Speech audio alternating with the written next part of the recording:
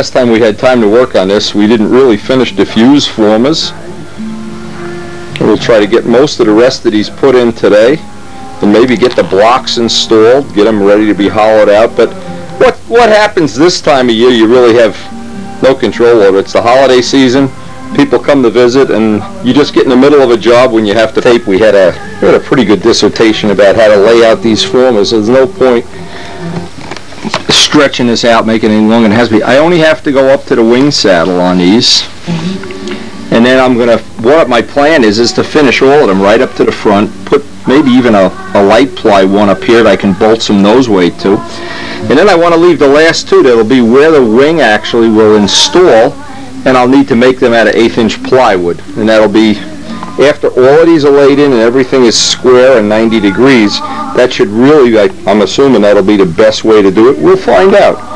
Again, because we're doing something totally new, the adventure of it all. And then, of course, once all the formers are in, getting the blocks rough shaped, this is an exciting part of it. This is this is a part I really like. Once these formers are done, and again, with holiday season here, you don't get any real dedicated time. You get bits and pieces. Now, as I'm laying out the the formers that'll go in by the wing saddle, see, I'm putting them in randomly. I thought about leaving these oversized just to give this a little support, and I went. I didn't want to do that because when I make the cut for the wing, I don't want to be cutting through the formers, and it's probably going to just make a mess out of things if I do that. What I really want to do is I want to have them end right where the wing, where we've drawn all our little center lines for the wing. And so the tail on this, the, the, the back part of it is really nice, in fact. That, that worked out perfectly. Now these formers, it's a question of I fit them to the width and then I trim each one before I actually glue it in. Now what I'll do is just make a support piece, a side to side, a piece of scrap here as a better way of doing it, of keeping it that you don't squeeze it when we're carving the blocks. The reason I didn't want to do the formers again is when you go to cut this piece out, and I don't want to cut that out until I the last minute, till everything's carved and hollowed and everything. So this will give me a little bit of an insurance thing that uh, I'm not going to wind up cutting through those formers since we've got it marked on both sides now, so it's not a problem. I should they should actually go right up to where the formers are, and that would be fine. Again, we're going to all this is speculative until we find out. And the ones in the front will be real easy. They're all 90 degrees, just working their way right up. Now as we're filling up this fuselage with as it's really starting to take shape. And the last piece here is going to be the nose. And then from that I'll make the two ends. You see I've left the two pieces missing so that I can get the, uh, and they'll have to be eighth inch plywood, the, the bulkheads so to speak that are going to hold this. So when I take the wing and the cells out, this will remain nice and rigid.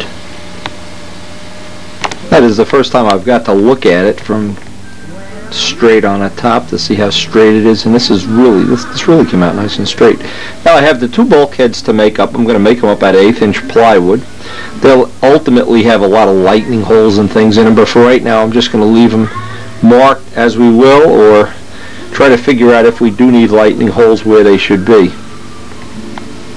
What I've been doing is just sighting down to see that I that I've created it or that that that center line hasn't turned into a banana and it's so far it's been real good. But what I'll do I'll make up two patterns for these two parts the forward one and the rear one. Making these two patterns up the the important thing is I'll pass them on to Dave Downey so he can replicate them write them out on a plan somewhere and if we the day comes and we're going to build a second B25 having all these patterns of course cut the time to, to cut it in half easily these pieces up. I have some scrap balsa left over, which will be fine. I cut it just a little bit oversized so that I can't really, by when I put it in position, I have to squeeze it. Now, I want to have the parts just a little bit oversized because I don't want to cut this out of plywood and then have to wind up uh, making a whole new part. Balsa would certainly a lot cheaper than plywood when you have to throw a piece away. So by having this piece, now I need to know how much higher than this because I figured I could get, I could add about another inch to this piece. Well, anytime I'm adding a piece to the top or bottom of the former, I need to get a, a relatively straight joint there. I just thought I'd show one of these. I've only had to do about four or five of them. For all practical purposes, most of these formers are under four inches, and we have four inch wood.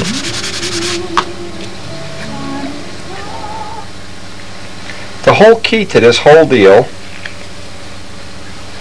is having 90 degree corners on everything.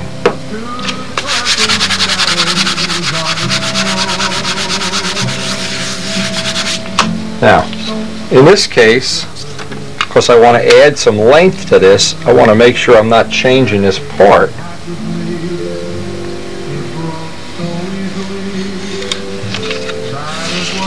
And then when I take the tape off, needless to say,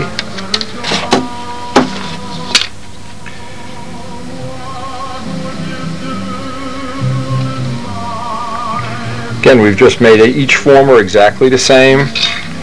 The ones that are oversized,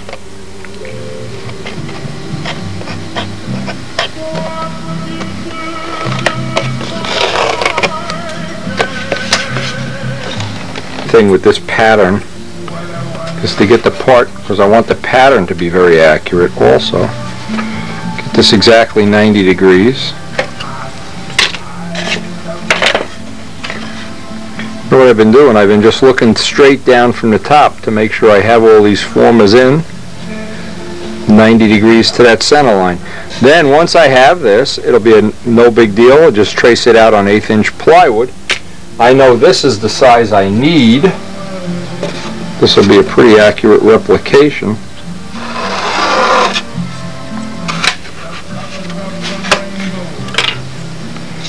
Now we know we can make this up just a tad oversized, maybe the pen line, and then sand it to get it in position. And I'll mark this up that this is the pattern that we actually use for that fuselage station where the wing is going to attach. This will be an eighth inch plywood bulkhead. I marked what it is. Now it's just a question of tracing this out on a sheet of eighth inch plywood and cutting it out accurately. And when you want to cut real accurate lines with a jigsaw, one of the tricks is put a brand new blade in.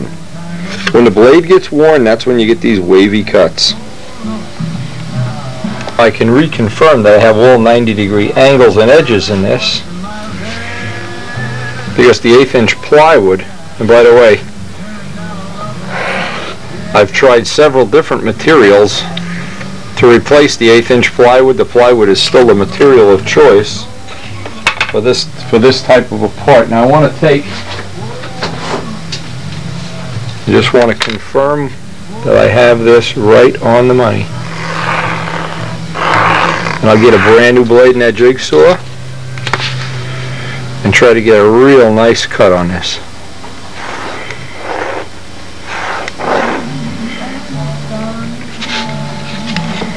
Once I have this cut out eighth inch plywood, the part that's going up into the fuselage, I don't need to have eighth inch plywood, but I want it to be one continuous piece. So I can put some lighting areas in here. The piece down at the bottom will stay perfectly solid. This is where we're actually going to hook the blind nuts and the bolts and everything when we make that part that goes on the wing. Now I made this what I hope is going to be a relatively accurate template. This piece of material we don't need. This will be in the upper fuselage, but it should give it some rigidity. The motor will, the motor, the, the fuselage will mount with some pattern of holes depending on when we actually get that part made.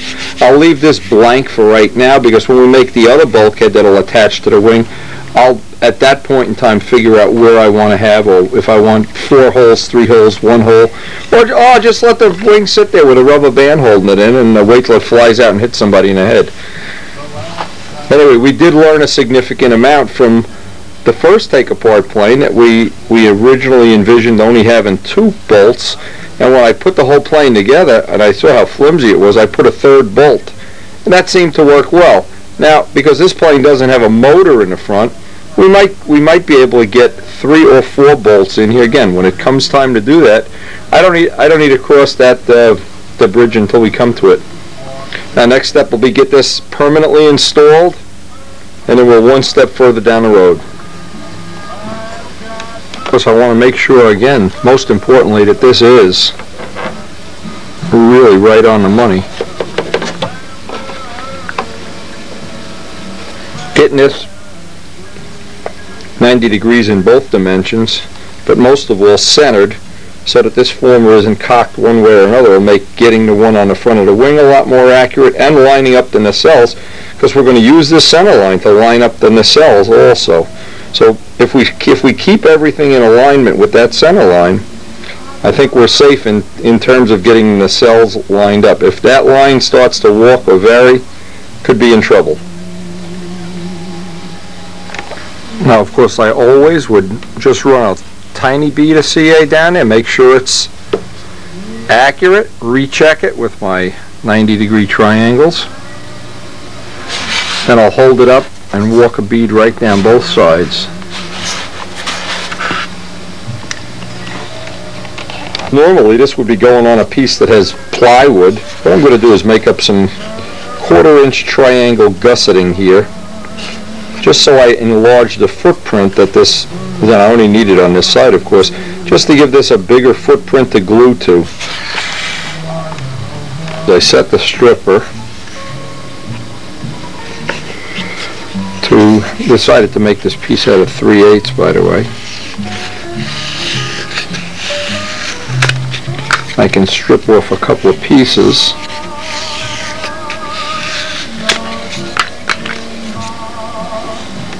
I want to cut a little bit of the material away here. So in effect it's like a fillet, similar to a fillet.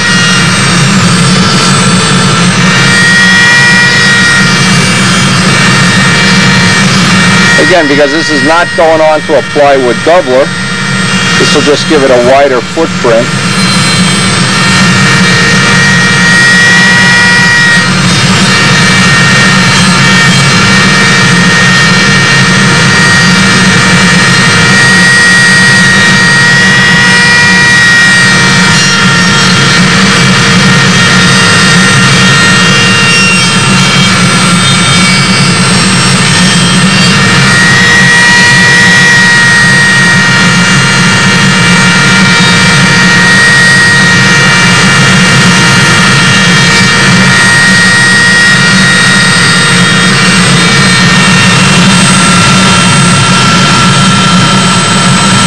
using one of these polywogs with a reverse curve, I can just do a little bit of the sanding before I put it in place, and then I can make a little dowel or a little handle to get in there and make a nice radius. A radius would probably be the strongest strength to weight ratio for this shape, for any fillet anyway.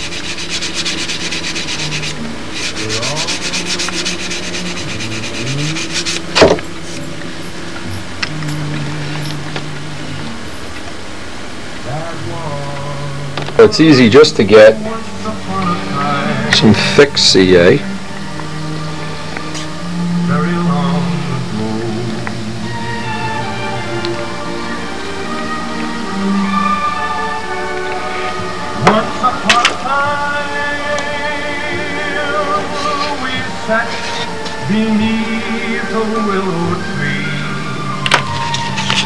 I just got a number 26 handle conveniently enough happens to fit that radius.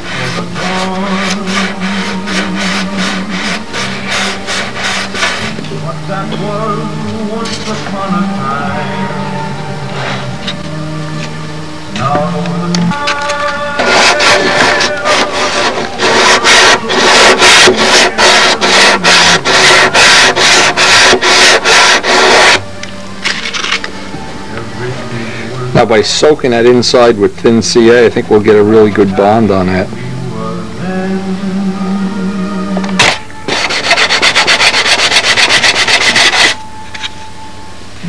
Making up the back piece, again, I made a balsa pattern, but I made it oversized. See, that won't fit in there yet.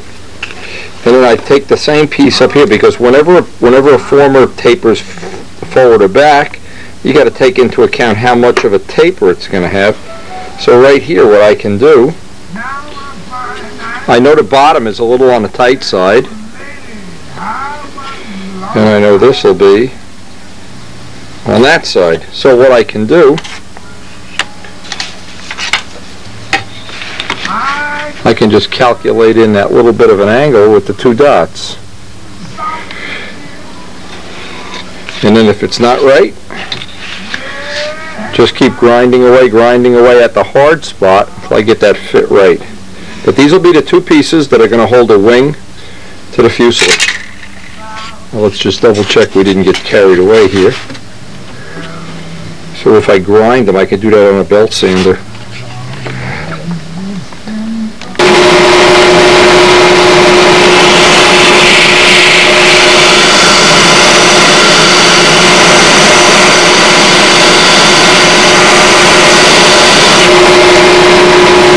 It'd be almost impossible to cut that with a saw.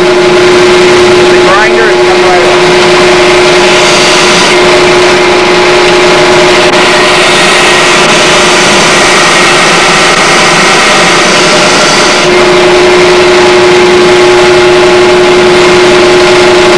I always make it a tight fit. Leave the line on. Because if, me just show you what happened. When I press that in place, I can see, oops, it's spreading the fuselage. Well, what I'll do is I'll just take, now I'll take the line off. With the line off, I can get a real nice tight fit. I need this to come down right at the back of the wing.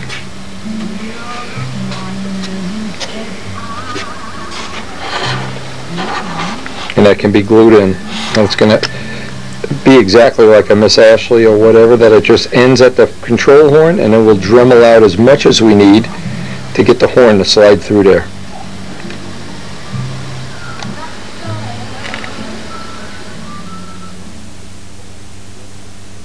Last thing I can do here, I can pull out this balsa former because it's just redundant, and I can get the same kind of a little fillet around the back of that piece. So I'll have one in the front and one in the back.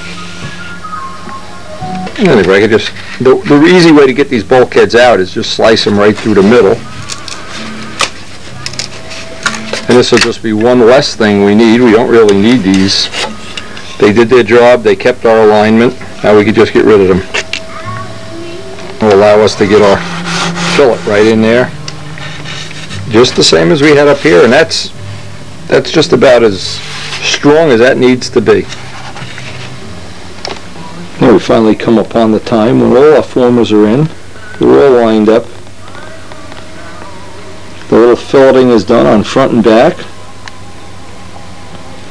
And I guess that's going to be the end of the session. I hear the boss upstairs. and usually when I hear her making supper, that's the end of our day. Maybe we'll see when we come back to this what the next step of this is going to be. This gives me a little time to think about it. Looks like a like a dinosaur skeleton or something, doesn't it? Anyway, up to this point, this has really been uh, a real. My brain feels like uh, like I need a nap or something.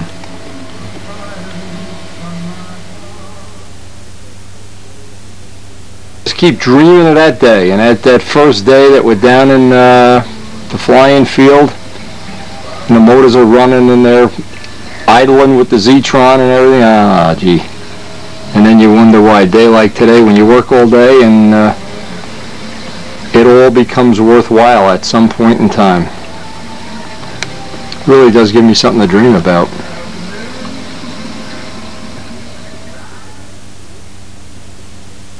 Here's the other point. It's such a an important time management point. While clear is drying, of course. That's a significant thing. We're going to put one or two more coats on this, but the majority of the clear sitting right up by a heating vent where it can cook away for a while. We got the control system done.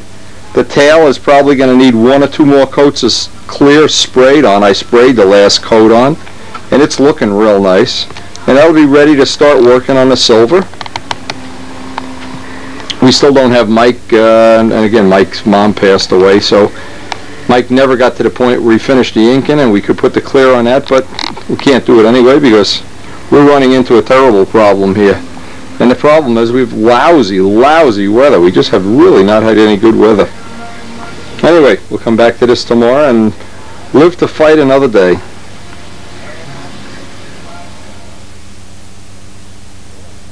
minutes here. I got about a half an hour, in fact. What I want to do, the two things I can do is I can get this little spine part. See, if we try to carve blocks with this piece like this, you know it's going to break. So what I have is a piece of scrap. I was thinking about doing this, how I wanted to do it. I can just make a fake piece. Actually, this is almost going to fit. Whoa! Have I gone to church or what? Look at this. I know you're thinking, ah, he planned it that way. No, I didn't. Anyway, this piece is only going to be in here temporarily so that I can't squeeze it while I'm carving away. And then if I have a little more time tonight, I'm going to go through my blocks. The lightest block is going to go at the back, the heaviest one at the front. You notice this has a little bit of a, a taper in the back.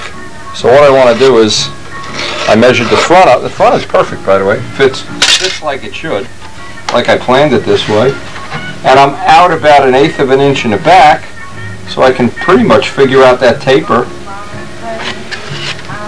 and just take that little bit off on the belt sander.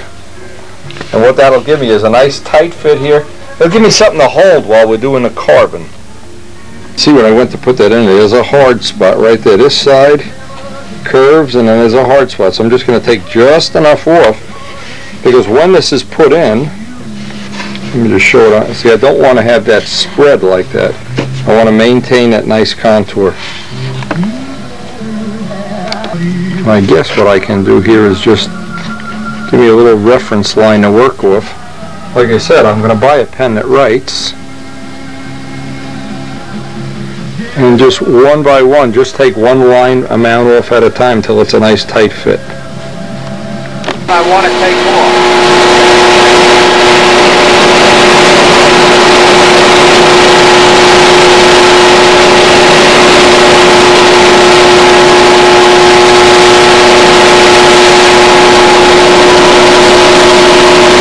Really will give me a, a good handle. Otherwise, I'm sure my bodybuilder that I am, my hands would go right through there.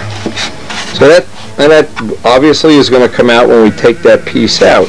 Now what I want to do is just get some scrap sheeting, any thickness, anything I have in scrap, and just sheet this with the grain going side to side. And that, that whole piece eventually is going to be a scrap piece, so does not have to be real accurate, but what has to be real accurate is when you look at it like this, that you've got the curve, and of course we're working off the top view. And that's about where it is. And we're about that much thinner than about an eighth of an inch, a little more than an eighth of an inch of Dave's original drawing, and of course that front piece will be a separate block. Now we have to go through the blocks again. I marked them all, but I really want to get very, very concerned that the back of this plane be as light as possible because we know we're going to have a CG anomaly here to deal with. And the block that goes in the front here around nose, I don't need to use up my best block. I can use the best one I have, though, behind the wing. And this is real easy to figure out what the dimension that we need is. Just connect the two dots and fill this in, but I want the grain going side to side. Now just one more little step we got out of the way tonight. Next thing is going to be the blocks, but we have too many festivities going on around here, family things, so for now, anytime I can do one more little detail like that, that'll just help me in carving up the blocks.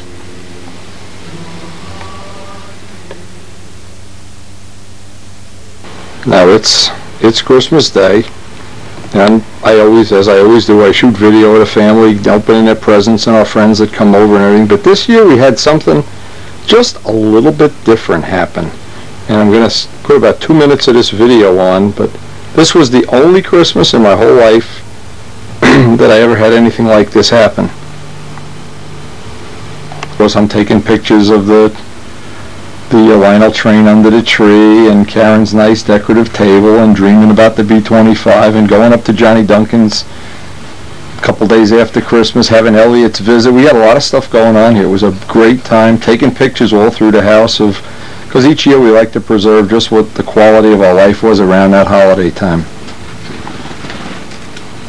We just bought a uh, a house real near ours, and so we were sharing gifts, and they're going to share the meal together. And Karen had spent about the last five days cooking this tremendous meal, setting a beautiful table.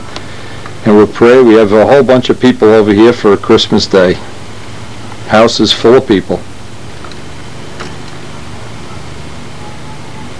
As you can see from this, that the uh, the house was on fire.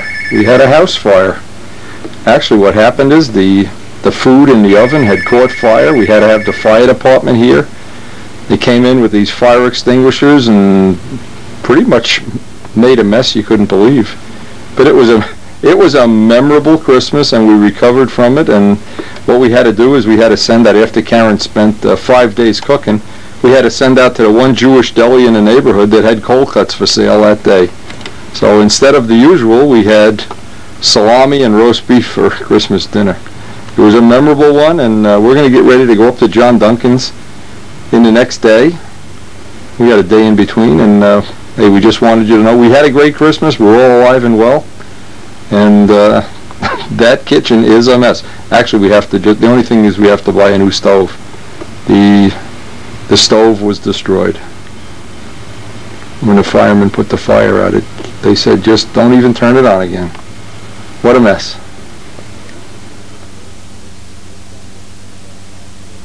So we're going to take a little break from this. We've worked on getting some of our blocks ready, but basically the main thing we, we need to do next, we need to make a trip up, and it's about a two and a half, three hour ride up to John Duncan's workshop. He's going to uh, be cutting us the foam wings, the cores for this project, and we'd like to visit him. And this will be the first time we've ever shown his shop on video. This is his new house, his new shop, and we're going to do that today.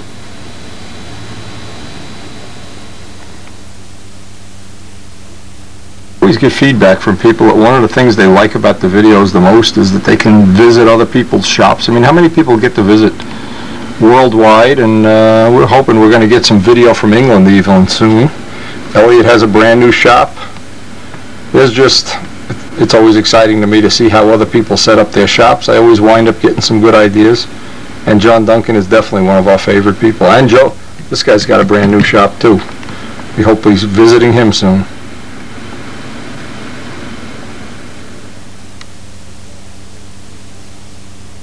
Now on the way up to John's, it is just, just absolutely a beautiful ride. It's about a three-hour ride from where we are. No leaves on the trees, no snow yet. When we used to come up here for the Coxsackie contest a couple of times a year, it was always, and Karen loves it up here. She didn't come for the trip today. She loves, this is the antique center of the world up here.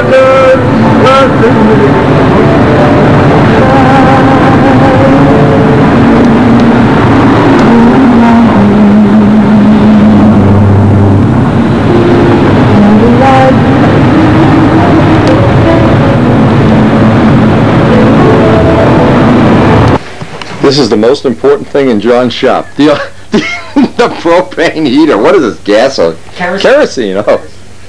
And you can see he uses it to dry up his foam blocks. And we're in. This was a garage at one time, and this is where John runs his business out of. And when he's not looking, when he goes for pizza later, we're going to steal all his good. I bet he's got it hidden somewhere other than the shop. Got all his templating for the foam wings here. How many wings you have templates for, you think? Oh, God. Thousand? yeah. 25, 30. Yeah, there's a lot, I know.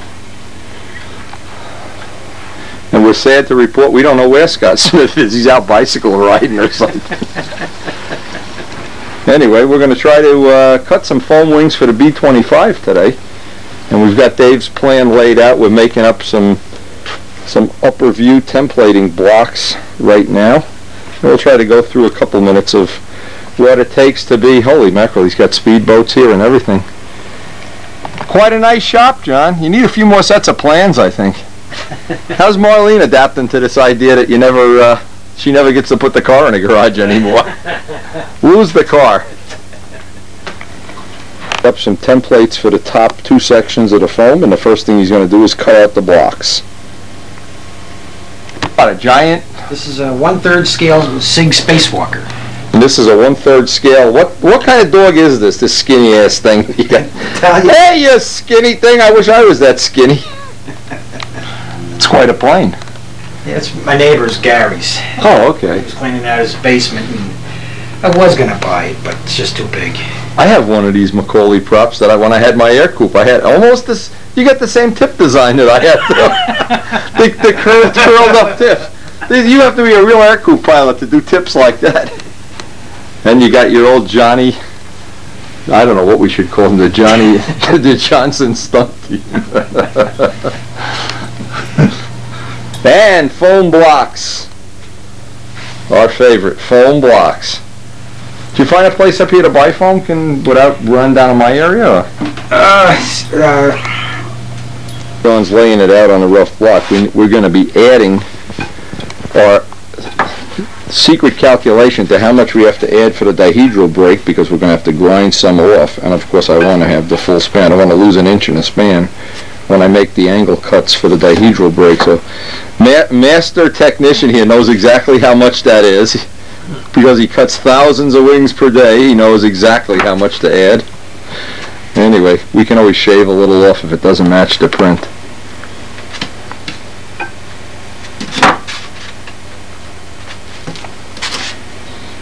You know, it's funny, a lot of people, uh, when they see a foam wing cut the first time, they think it come, the blocks come cut the size of a wing and you just cut, you know, they have no clue. It's like a tree. If you hand somebody a tree and they want 16 sheet, you know. the hard part is getting it down to 16 sheet. This is the hard part. Okay, you got it. Yeah, I'd be, I'd be adding even enough that, that we're never going to have to worry about all those dihedral breaks. In case I get them wrong six times in a row. And that that was our master plan is to cut two sets of wing cores in case in, in case I cut a little too much off one. Well, if you leave, I tell you, even though it's freezing cold outside, it's not cold in this garage. You got good insulation here. no, I had that thing on since eight o'clock this morning. Oh, trying to impress me. yeah, there were days we cut wings over in George's shop. It was so cold you couldn't touch the bow. He wouldn't leave the heat on overnight just because we were cutting foam. I don't know, but when we painted my Vulcan here, Ah, gee, now the truth comes out. out. Of, we're- we're out of fuel and holy Toledo. Yeah. Cold in here. It gets cold quick when you don't have any. Oh yeah. Now you know why, you know, they say people that live in cold water climates are more aggressive than people that live in warm weather climates. There's a reason. You start freezing, you go over and choke the neighbor and get the logs out of his fireplace. Grab his balsa wood pile and throw it on. Oh, oh God, you're right, Windy. It's true. Johnny, we're gonna paint, paint the area, uh, Mark? I don't know.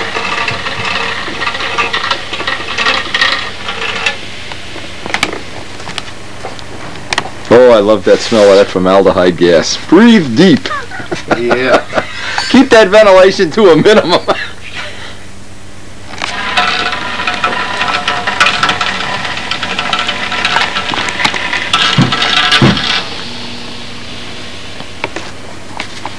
Is, is, is, I'm in a four-wheeler.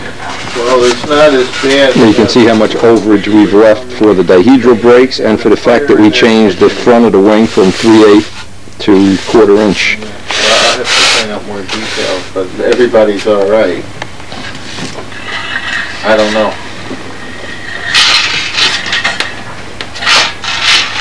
Yeah, just. And John is one of the few people I know has a car in his workshop. Because he's got a, what is that, a Spitfire, a Triumph? Seventy-two Spitfire. Yeah. Triumph. And how many you got? You just one in the driveway too. One in the driveway, one in here, and one underneath the deck. That's the part. You So you're really a Spitfire parts man here.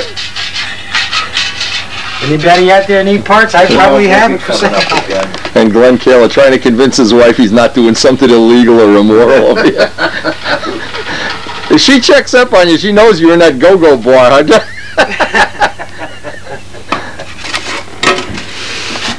This was one of the tools. Is this the one Scotty had? Yes. This is Scotty's? He had, Scotty's had pins. Mine didn't have pins.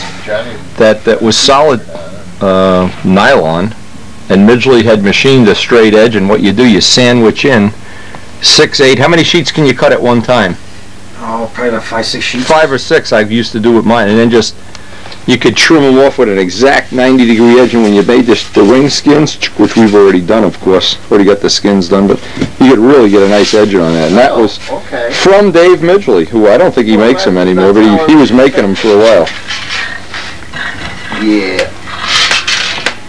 Okay, well, uh, let's see a little.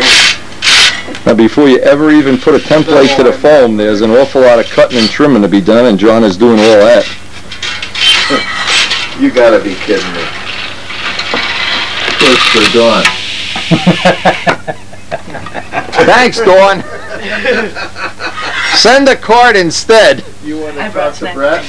Oh, all right, thanks. The thing I, the thing I remember, even when Scotty was doing them down in his house, is people think the block of foam comes all cut, you lay the template on each edge, do one cut, and you're done. Yep. They have no idea how much work is involved in it. Now, John is just finishing up, truing up the block, which you have to do for each individual wing, and these are no different, that's for sure.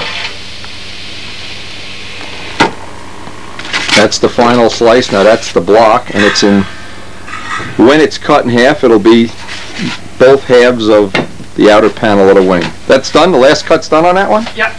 Okay. The walk around phone. You are really a high-tech guy. This is a high-tech shop one. Yeah. I got it. I'm, I'm, you've got all the secrets of success going here. Yeah, I got it on my head now. I don't have three Spitfire cars in my garage, though. You, you have them hanging in your bedroom, right? Yeah.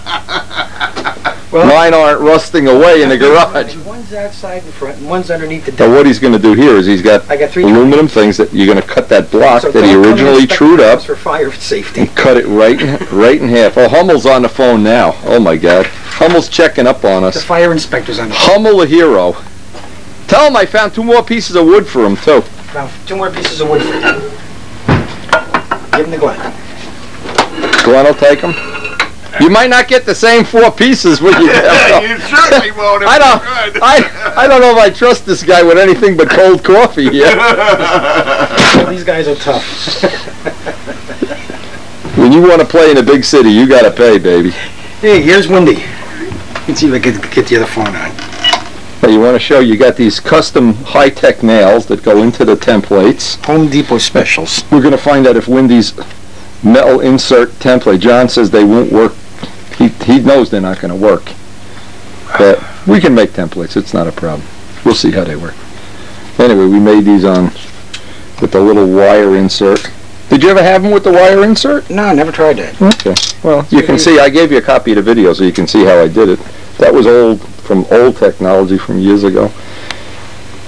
And it's real good if you're cutting a wing where you're going to make 50 copies of it. Uh, you know what I mean? The- They'll all be exactly the same, where the wood starts to get little dings in it, and and we still need to find out if we're going to be, if this is going to be too thin. Dave Downey thinks that's, well, we're going to find out.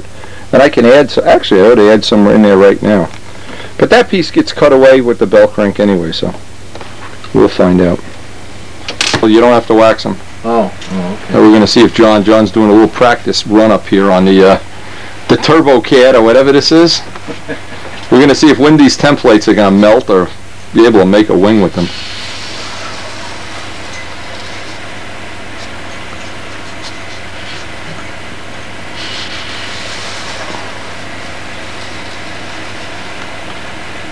Gotta get that timing down, John.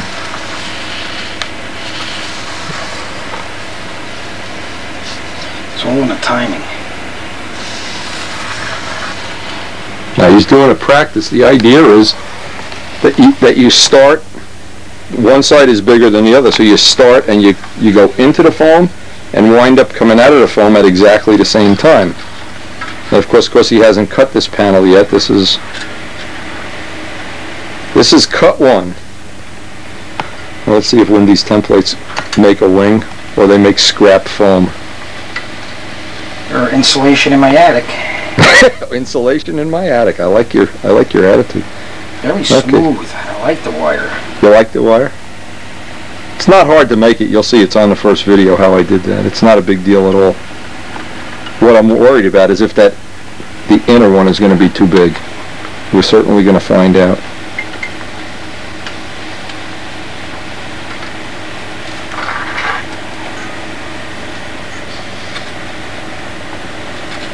What happens is he reverses the template to cut the other side so that both sides are cut totally identically.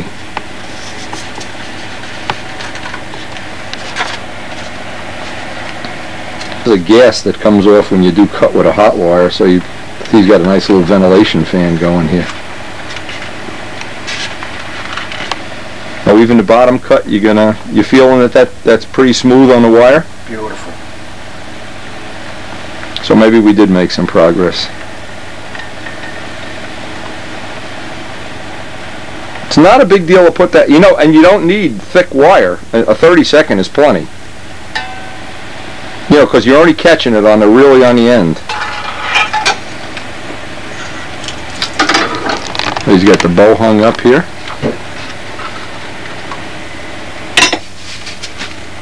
Gee, Scott, or Johnny, you did a good job there.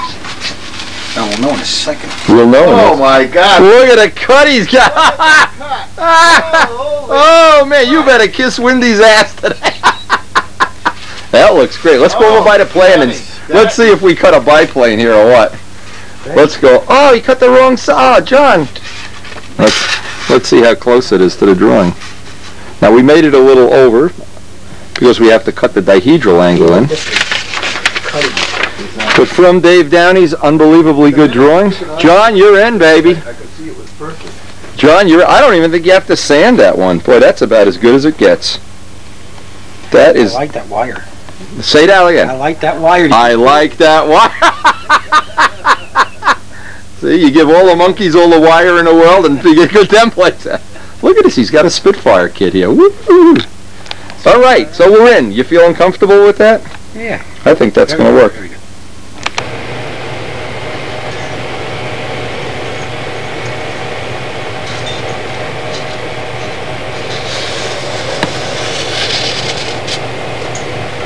Now, this one's a little bit different because of the trailing edge sweep. Normally, you have a, a straight line and one hand's. Yeah, this is actually a little bit a little bit awkward for you, huh? A little bit. It's not.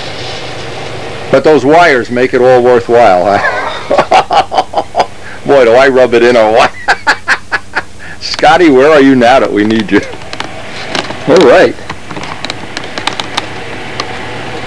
Foot pedal, it heats the wire. When he steps on that, the power goes to the wire. The wire gets cherry red hot. He's got little things that go around the wire like dowels that hold it. And we all get to breathe that great formaldehyde dust.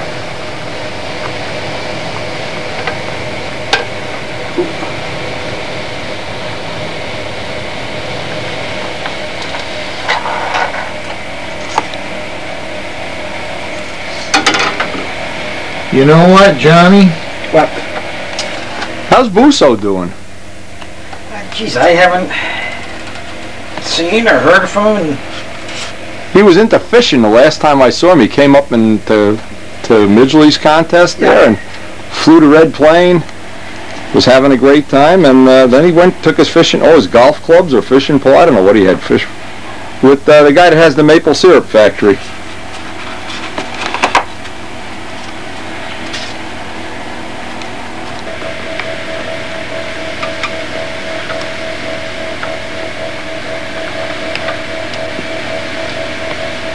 Think those templates are just as good as if you laser cut them out of 16 steel or something. And they're, boy, they're a whole lot cheaper. Even if Jimmy did it, there'd still be money setting up the machine. Acceptable? Does that meet the rigid standards of uh, John the Pizza Man here, or what? Yep. Okay. Macho, baby. I am totally impressed. Okay. Dave Downey is probably getting ready to throw a tomato at my videos. critical stunt person in the whole world. He's critical of, of the taste of the hot dogs at the Circle Burner field. Everything is a problem for Glenn. Oh man, Glenn. Well, you're here witnessing stunt history, Glenn. Yep. You go out on the internet tonight, you report to these guys, I saw the B-25 wing getting cut. And it looks terrible. Does that one look okay? Uh, just, Oh, oh he's uh, just a lo- just. wingtip, the uh, outer panel. Oh, I like the way this man works. I'm telling you. Um, should we, can Brett call it in? Or do, or do you want me to? Yeah, Brecken Quality. Yeah. We'll go get it. Where, where is it? Glenn's gonna run and get us a big pepperoni pie to speed up the construction of this B-20. I've gotta go all the way to Hoosick Falls for it now? Nah, it's right down here. Cambridge? It's right down the corner. Get down here, out of the driveway, go straight. Take a left. and- Didn't you ever buy a pizza pie in your life? What, what kind of neighborhood did you grow up in? God. Glenn, we're all hungry. Tell, tell Brett, get on the stick. In other words, get going, right? Get on the, get on the stick, man. Now, what size did you want, John? That size right there. This size? There's only one size, windy size. The biggest with the most calories. All right, here we go. B25 outer panel, number one coming up.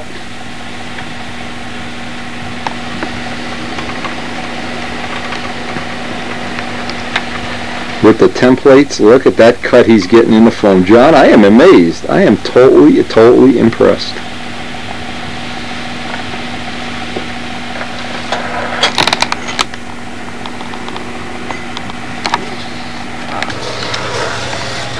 I'd never move to a town that didn't have a good pizza place. It's the law. He's doing the bottom cut here.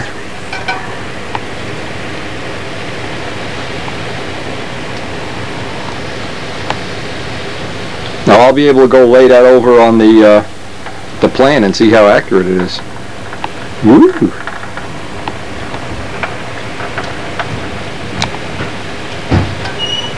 These look just about as, as close to being right as you possibly could ever want. We're going to just go ahead and cut the second set. You actually save, like when you do the second and third cuts, you get you get a little rhythm going. A little bit. I mean, you get some, I know that. Where it just, everything just falls into place better. I know it goes better you have a slice of pepperoni pizza. That's, that, that adds about 10% to my production for the day. That low calorie pepperoni pizza. You know, I even have the bird eating that That's pizza a now. contradiction of terms. Peeps, Peeps eats that pepperoni all the time. Peeps does? Yep. Is he still in your cellar? Yep, yep, he likes it there. Oh, he needs a woman though. He knows a good thing. The only thing missing in his life is is a female Peeps. And I'm not so sure he doesn't think I'm female Peeps sometimes. The two cut, and they are ready for coring, and we've checked them over the plan. There's, they're about as accurate as anything I've ever seen. Well, the next step on this is going to be to core them out. Now, a lot of people in the past, oh, you actually could do it now, do the sheeting first and then core it out. Well, if you do with epoxy, I think that's worthwhile, but when you do the method I use with the contact cement, I don't think you gain or lose anything that way. Again, we'll find out. And this is this is Scotty's coring jig. Yes, it is. Yep. It was originally Bob Hunt's or Jim Hunt's or See the masking tape? yeah. Now what John did, he marked out the coring locations from the templates.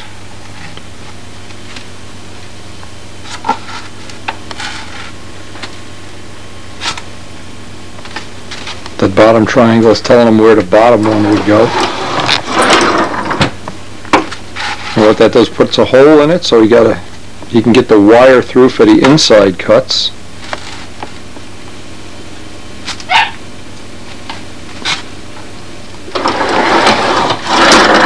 You gotta watch when you move into a neighborhood like this, John, that the pizza parlors are too far away. That's, that cuts into your mileage, you know, your shop time when you gotta go. Although we'll probably get twice as much done with Glenn out at the pizza place.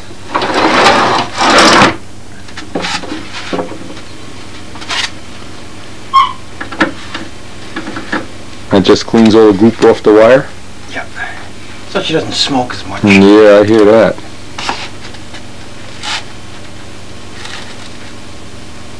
And you're going both ends to the middle? Do you ever miss? Glad you admitted. it. We used to miss half of the time. Actually, it's a nice ride up here. It was not bad. I thought you guys had snow up here and everything. I was getting ready to. Karen says take the snow things and all that baloney. You have a thing for scraping snow off the car too? It's like, get the same weather we have down by us. We haven't had much snow at all, just a dusting. No, Midgley's got some up by him, but that's it. How's Dave doing? Doing good.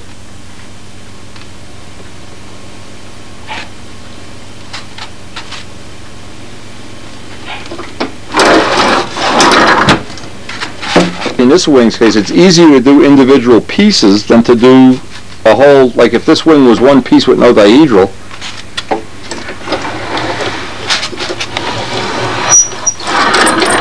it is, you can go right through the center sections. Pretty cool. It's like doing a half of a wing panel, so Yeah, yeah.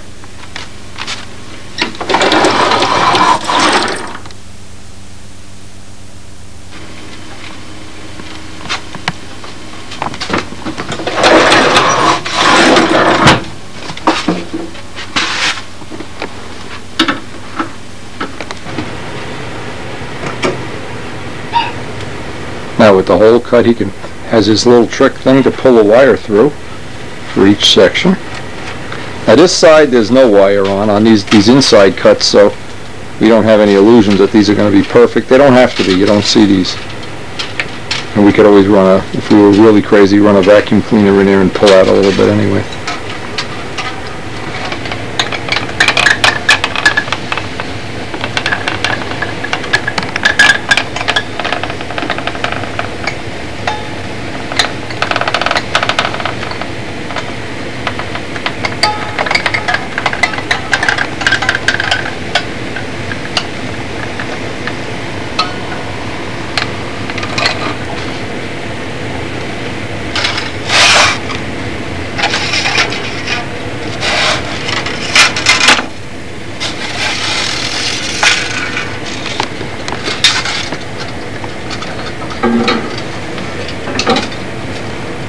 Pretty good. Now the trick, how do you get that off the wire? Watch this magic trick. what a guy, I would have never thought of that. I'll tell you, that's what separates the Scotties from the no Scotties. All right, what a guy. And uh, you only got to do this 12 times and we'll be ready for pizza pie if Kaler doesn't get lost or mugged down there at the pizza place. Can you trust him alone to, to drive uh, without a map or whatever? I mean, he's six miles from home, you know, he could get lost. we should have tied a string to him so he didn't get lost on the way down. He's got my 20 bucks too. They'll probably stop the go-go place. That'll be the end of our pizza pie. Oh.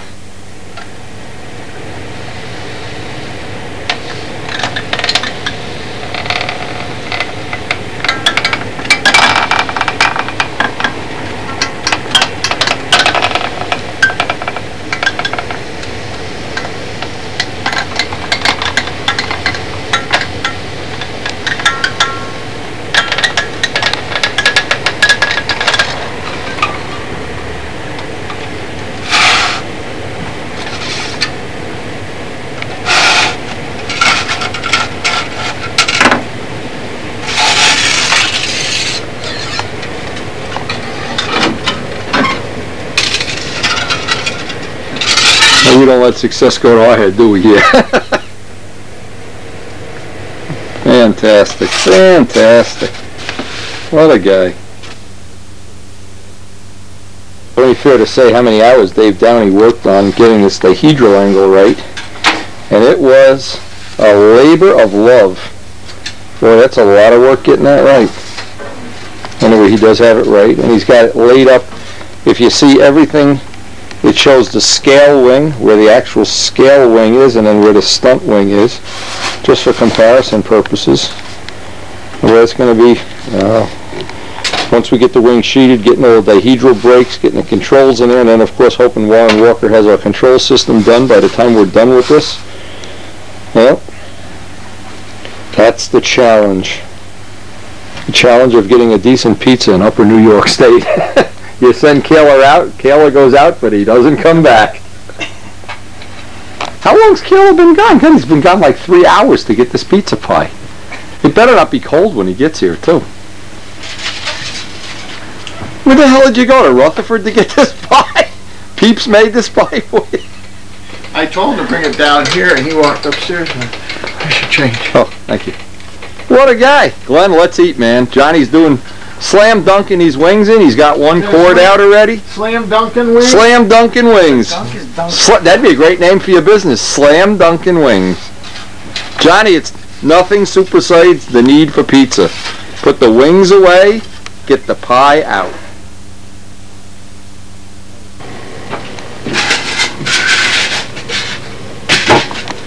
Now we have one complete set.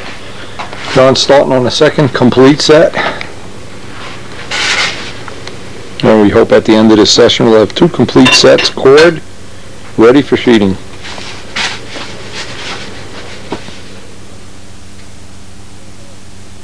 Well, the ride home from John's is, as always, uneventful.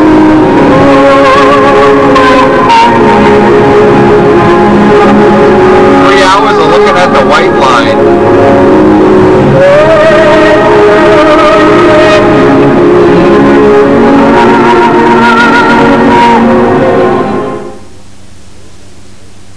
After a, a whole day at John Duncan's, what Elliot did is he brought back a whole bunch of motors, and we're gonna look at the possibilities here. What is that, the Max? Oh, that's the little Irvin that George did? The uh, Irvine 36 modified by George Aldrich one Okay, that's George's. We got Irvins that are stock, and they're probably too heavy and too powerful. A little OS Max 32F. Keep in mind that this placement can't be more than 3.6. So we thought if we would just to look at all the possibilities, and certainly the, one of the possibilities is if you had two 35s, you don't have any 35s to check though, do you? These are 40s? Yeah. Yeah, that's a 40. And of course, if this, if necessary, we're just gonna put the Saitos in there and be done with it. But this is, we're looking to save about roughly 10 ounces over what the Saitos would be, but again, you never really know it unless you do the check, the test. The little Irvine was 10. Yeah. Yeah, it's 10 with the carburetor. That's heavy. That's a shame that that's a heavy engine. The Max is an ounce lighter, and Randy's little Aero Tiger is the lightest. So it's, in almost every way that we're looking at this, it's, it's looking like maybe the Aero Tiger is gonna be the, uh, the ultimate lightweight winner, assuming we can get another one. We only have one. Let's see if that carburetor fits in the Aero Tiger. That little carburetor? Yeah, sure. There's some surprising things that I didn't realize, and that's the weight of these. That little Irvine carburetor is the heaviest one of them all, Terrible. by far. I mean, you don't even need a scale to. Work that out. No. I wonder if the little Saito could. Do you ever weigh a Saito carburetor? No. We need to look at. If you're looking to get weight down, I'm sure we can just find a, a lighter car. I wonder if you can. Yeah. I wonder if I can't come up with something like a. Uh, since I'm, you know, well, I don't know what the choice of. We have so many choices here, but the Tiger carb is just as heavy. Wow, it's made probably even heavier than the Max carb. And since we're going to be using carburetors, that's one of the things that makes a project like this very complicated. But we're going to work on it. That's one of the. The 36s might be a little heavy, but they run beautifully. Yeah, well, tomorrow we'll take one out of the box. You got one that we can run. Is George's ready to run? You just bolt it back together, it'll run, yeah. Uh, Elliot brought this over for my Christmas present. Notice that this is I don't know, mate. I think it's just little notes. a wall mural of the Typhoon plans. And remember the old magazines where they used to have cutaways and show the ribs and the bolts holding the tail and the Typhoon front? Well, It's all right. we hope we're gonna have one of these a year or two from now for the B-25 and we may even, we may even make this a, uh, boy, that is nice. Did a great job, Al. Fantastic. And of course the plans right there. Now we gotta find a place of honor to put that. That's alongside all our Irvine engines and, well, we have got enough engines here to choke. Enya, what does Enya make? A 35? They do. They make a 30 and a 25. Uh, it makes me crazy. We've got a thousand dollars worth of engine, and we're we're probably gonna sell on Fox 35 before the day's over. in You a guys like a car. little snack? No, we're going to Steve's for Well, no, supper. wait, actually, it's gonna be quite a while, because we have to wait for Craig to come pick up the car. Okay, we'll wait for Craig. Gr- Elliot, that's wonderful. We gotta find a You place must to be hang it. starving. that, oh, come on, tell me the truth, how did that lettering come out? All right. not so hard. Oh, we don't care about your inking job. That when it clears on there, you'll never see it. What do you think, Richard? We're giving Jacobone a hard time about building his wheel pants for his stuka here. Oh, come on, Mike, that lettering looks fine. That looks really good. Now, what do we gotta do? Figure out how to make a cowling here, huh? Yeah, I've made two, two, three of them out of wood. Okay, flip it over. Let's see what we could do about making up. And they didn't. We don't know if we're gonna be able to do this well. or But not. This one looks like it's pretty Oh, you put plywood on it, but okay. Let's see if this is gonna work. something to work with there. It's nice. Well, you know it's gonna be higher than you need. You know that because we made that for the four-stroke. Right. But I was thinking maybe we could grind it down. Quick thing here we're gonna do to Mike, we cut the top piece off, and we're gonna trace this even with, Gonna be with the, uh, because this is a cowl for a four-stroke, it's much higher, even with the lip, and grind this on a belt sander even, Mike will get that even. And then we'll cut a piece of plywood, we'll see, I, but I didn't. and you can put the hole for the glow plug and some vent holes and everything. But then he can use his original cowling mounts too, so having that little mold for the cat, and of course you just can sand that in, that's no problem at all. That'll save uh, quite a bit of work not having to carve that cowling up. Flying ship. So plywood top for that, It's way because we had to cut the top off. Right, And we're gonna use the original mounting holes. I'm sure.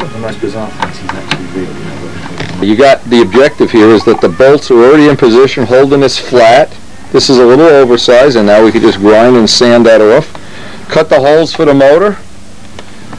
And what do you think, baby? We're in, kid. You're in. In only an hour. Why don't you just, yeah, why don't you just go home and carve a block from a... No more, no.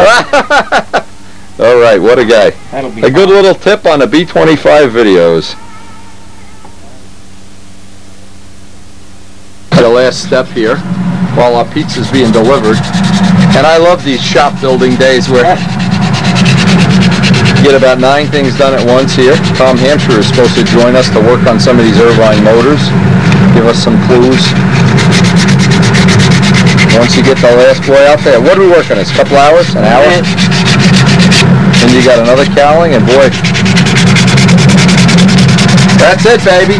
You're in. Once that's all put together again, it'll only be a couple days. We'll be ready for the clear on this. Ready for Be ready to fly. ready for more clear on Miss Ashley. We're dying to get the rest of the clear, but of course it's 10 below zero out there now. Fuselage is framed up. Wings are cut. The hats are ready. I don't know how to could get a whole lot better than this. Miss Jamie's ready, Miss Ashley's ready, and Miss B25 is going to be ready soon. Even Peeps is ready for that pizza. Where's Peeps? Hey, Chicky. Pizza's on its way. The pizza delivery boys are on their way. Work for you? Yeah. I'll be fine. Ah, I like it. Now, we're so glad we made that mold, aren't we? Oh, yeah. I can hear him saying now, Windy, thank you, Uncle Windy. That's going to work fine. More sanding here, maybe open. Make sure you can get your finger in there, even though it looks right. I You have got to the open little- up a little more, I will. You got the gap, the little gap for the header. Yeah, that'll work. That's got the real cardinal look too. Looks good.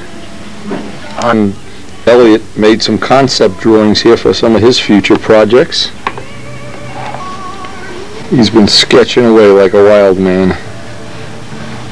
One I like, the one that looks like a uh, the Chinese plane with the radial engine, open cockpit. More concept drawings. Okay. What I love about group building session days and repair days is having Karen bring us down the uh, mandatory pot of coffee, which she's been gracious enough to do, and while we have our pizza delivery boys still out delivering pizza. You got low- God, where did those guys go? To the Go-Go place? I hope they didn't go to England. I think they went to England to get us pizza pie. It's gonna look good, Mikey. I'm telling you, you're okay. I don't care what Peabody says about you. And our new addition to our, really like that. That's really, that was a really nice gift, personalized gift. That actually looked good in stunt news with the cutaways and everything. And of course the Typhoon plans. And we're going to obviously have exactly the same thing this time next year or a year later for the B-25.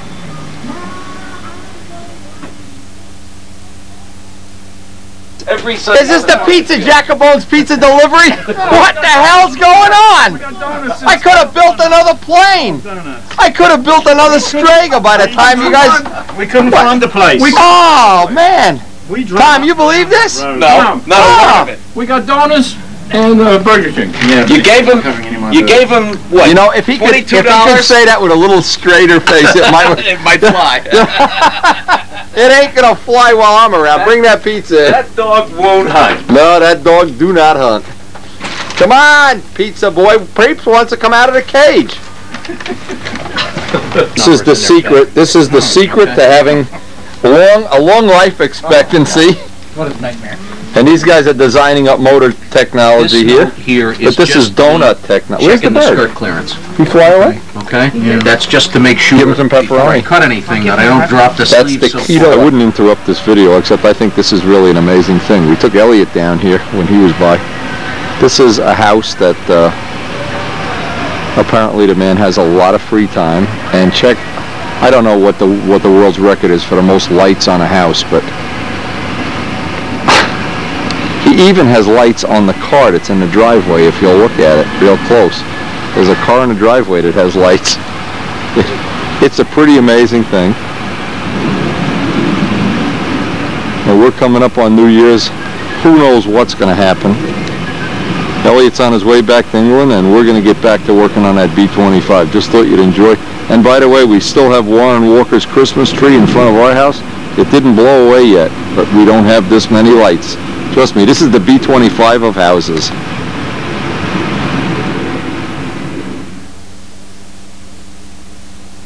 We hope you enjoyed that house. That was pretty special. Anyway, today one of our goals is we want to try to get the wings sheeted. Now, over the years, I've made a lot of foam wings. I'm using a lot of different methods of attaching the wing skins, and that's what we're going to try to do today is attach the wing skins, but I've not found a better way than the, than the method I'm going to show. We've won the concourse twice using this method. And that's one of the things I think that, that a lot of people have a misconception. If a plane has a foam wing, it's it's in some way handicapped weight-wise or, or whatever, but I don't think that's true. I think a foam wing plane can be just as competitive, just as beautiful. It can certainly win the Nats, certainly win the concourse, certainly win the World Championship. So, given all that, it speaks loudly. Oh, we made a video with Scott Smith. It's still available. As, and it goes for about six hours, I think, of how Scotty used epoxy to join his wing skins to the foam cores. Well, the method I'm showing is the same as on the foam wing video that we've used years ago, used for many years. And I think this is this is my first choice as a way to do it.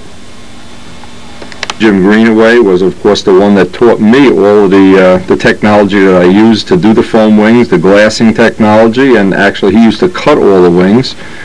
And we had some pretty successful planes over the years. Now, if you go back to some of the old videos, the Sidewinders and some of the original Cardinal foam wing videos, the one that we use as a foam wing video set, we're going to be replacing that with this tape in the near future. So a lot of this footage is going to wind up on what I hope is going to be an all-new 2001-2002 video on foam wing construction with a lot of the updates. And just just keep in mind, there's a lot of different ways to do this, but this is the way, using the 3M spray cement, this is the way that's worked best for me.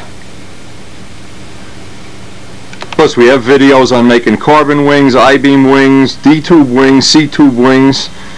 And now this plane, because of the additional features of having dihedral and several other unique features that are unique to the B-25, this is just going to be just a little more complex, but it's the same rules. The same rules apply to this as, as to if you were doing a a totally straight wing traditional stunner. Uh, just before we go any further, if, if you're interested in the epoxy method or some of the other methods, we do have those on video. Scott Smith used those very successfully. But this is the method that I prefer. Now, if you notice, the first the first thing when you buy some of this cement, because it comes in little cans, but you need a big can to do a wing. I do anyway. the number, Super 77. Sometimes when you buy it, the can will be exactly the same. These cans used to be blue. You'd buy it and it'd be a little, you almost couldn't see it, an N, and it would melt the foam. So the first thing I did years ago is I called up 3M and said, what gives? Well, they make this formula of glue for a thousand different purposes. It's used for everything, art supply, uh, different different applications. They use the same basic formula with with some minor changes. But every once in a while, I would get a can that didn't have the N, and I'd go spray some foam, and it would melt the foam, and I'd say, ah, and I'd realize that they had changed the formula. So what you have to do the first thing is get a can of glue and test it on some foam. The way you test it is you take a piece of the scrap foam and spray a big glob of it on and see if it melts. If it does, if it melts the foam, you can't go any further till you get the right glue. This is a critical step not to leave out. And you can buy the same glue in art supply stores It has a different number, a slightly different number. You can buy it in Home Depot. Sometimes it'll have the N, sometimes it doesn't. And I really don't, it's a confusing thing, but once you get the right can, and in this case what I did, I bought a can that worked, and I went and bought right away from that supply, went and bought three or four more cans. You can see I bought the store out, in fact, because what I wanted to make sure is I had it all from the same batch. Thing I do is I do want to do my test just to make sure. Even though I've done this test before, I want to make sure.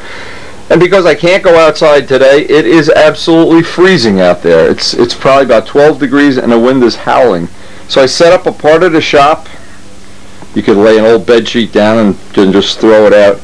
Because wherever you're going to spray this contact cement, some of it ultimately winds up on a floor. And if you don't do this, and, and of course the way I know this is I'd spray this without newspaper on the floor sometimes, and by the end of the third skin, I'd be I'd be like Spider-Man walking on the floor like suction cup feet. Anyway, the first thing is to do a little test.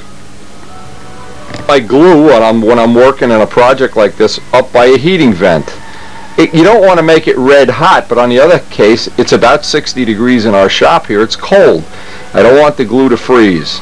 The other thing I don't want to have happen, I don't want it to all settle to the bottom. So shake, shake. Just like mixing epoxy, shake the glue. Some of the requirements here, it is freezing in here by the way. It It's about 61 degrees. But Shaking the glue, very, very important. Keeping the tip clean. When you're done spraying, it's a good idea to pick, know if you can see all the little glue off here. It sounds like this is real complicated, but it isn't. This is the, this is the easiest way I know. And in times, Scott and I would do the test together, and the weight would be very similar, except in his case, it took a lot more time. Now, I don't want to make this soaking wet, but I want to get a light. Let me spray out See, this tip is clogged from the last time we used it. This is why it's nice to have 10 things of, of glue. Let me show you, and I go get a pin, clean all this garbage off, or else just go get another can if this tip is is unacceptable. But this is what happens when you don't do a good job of cleaning it. Now what I did, I got one of the bigger cans. That, that tip was almost impossible to clean up just because I wanted to have a new tip. But I noticed they give you, in the bigger cans, they give you a spare tip, which might have a different spray pattern or something, but the white tip, I've always had reasonably good luck with anyway. I want to do a little spray test, and I want to, as, just as if I was doing a foam wing. Of course, this side of the core I don't use, so we'll find out. Now, the way you know if you have the right amount of glue on this, and it's not exactly like a spray is I pick it up, and let me see if I can do this, if I can candle it, that you just see just the slightest bit shiny. The other test is you wait a minute and you can just feel it get like flypaper. We'll give that a minute. But it should not in any case attack the foam. If it attacks the foam then you know you're in trouble.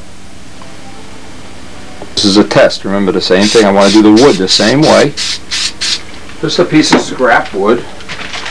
I want to look at it, kind of candle it. It should just be this, and it's a good idea to practice with this. Now, because it's real cold in here, this is going to take four or five minutes. Normally, if we were outside, see, here it goes. See how it turns into fly paper? You can accelerate this by heat, the temperature in the shop, and this is why it's a good idea, even if this is, if you've done a hundred foam, here it goes. You've done a hundred foam wings already, it doesn't matter. It's a good idea to just give it some time, and a little practice never hurt. Now this will help, this will accelerate it, and let's see if we're getting, see how it's getting sticky already? Now the thing is, when we do a real wing, we only get one shot to put this wood down. We only get one time, and if we put it crooked and we miss a corner and whatever, you don't get to do it over again. So we're going to lay this all out carefully with ink, with an ink marker or with a pen or whatever. But then you can do a little test in the corner. That's going to take a minute or so more because it's so cold in here. If this were a hot day, this would already be done. It's good to get a feel for just how long this takes to get sticky. It's getting sticky at a very slow rate here for two reasons. Number one is it's so cold. Later on in the day, when it warms up, now see you can see we've got a bond already. Now I could still peel that off, so I know it's not ready to go. When that gets on there the final time, there's no way you can pull it off. When you pull it off, and just getting this little technique down pat with practice, if you have some extra cores, some old cores, an old set of cores of something, this is, just get a feel for just how sticky that becomes. Oh, there we go. Now you can't get it off. Now it's on there forever. Is if you take this and it does go, and you put two pieces of wood, you can do it with a piece of wood, but you don't know if the foam is going to. Now once that's on there, you can get a feel for just how strong that bond is, and, and the wood will come apart before you can get it out. Also, having a little bit on your fingertips like that, you got to constantly clean your fingertips with alcohol or M600 or something, or you wind up becoming a flypaper man. Okay, the test is done. We're ready to lay out the cores. Just use this side. I'll lay wax paper on this side when we actually use it. But knowing how sticky this can be, this really gets that at some point in time, and depending on the temperature, this will get so sticky that once you once you get your finger stuck to it, it'll take a piece. In fact, it's already done it. It takes a piece of foam out with it rather than just the laminate. Now we know that's ready to assemble. And you have a window of about 15 minutes, probably 10, 15 minutes later you could lay another, just like sanding blocks. It's a good idea to practice on sanding blocks. That same glue works on sanding blocks. But that gives you an idea how sticky that glue really is. With my little test, I'll take some office paper. I took that little piece of wood off with a knife with a brand new blade. I put office paper on it because then it that still keeps the core intact. I don't want to lose the core. I can just trim this off. Because ultimately we're not going to need the cores. Now if you were using epoxy, you really do need the cores. Using this method, the cores are less important. I don't want it, what I don't want to wind up with, I could put a piece of paper in the middle there in fact. I just don't want to wind up with that in the middle of doing this, in the middle of working on this, if I do need this core, I'm going to have a problem with it. It protects it now, I can lay it that way on the table and work on the wing. Now also keep in mind, when John makes the wings, no matter what wing it is, it'll always have marked top right, top left, top right. Each core is unique to its individual pieces. So before I would do any work on this, one of the things I would do, get some colored ink markers, and in this case, I can mark this one goes with this one. Or whatever. If necessary, put two stripes on that side. So that you don't start using the right core with the right crit. Even though they're very accurate, sometimes they could be off by half the thickness of a pencil line or whatever. It, this just makes it more reliable that you always put the same thing. In other words, when John cuts them, that piece never comes out. And then he marks it with a stamp. So you know this is the top right wing, the top left wing. You don't flip-flop them or cross them. Very handy to have that information. Important step. I'm going to start this is to clean every little bit of junk off our table. Scrape the table down, clean it with acetone. Because what will happen if even one little dot of this CA, this already cured CA gets underneath a wing skin, it puts a gouge in it. So cleaning the table super important right now is to start with a really nice, look at, in fact, there's all little chunks coming off from the construction. Trick. And back in the old, in the old days, the last couple of foam wings we made, the cuts were a lot rougher than with these wire inset templates, but it still pays to do a little bit of this. And I got the real smooth sandpaper on here, and what it's going to do is make dust, leave it right in the core. I'm not changing the shape, I'm just taking out the wire, this fuzz that comes when you cut it. Now, every step of the way, right up to the gluing process, what we're going to be doing is vacuuming this with a brush. So let me give you an example of what happens with this. This is all part of the preparation.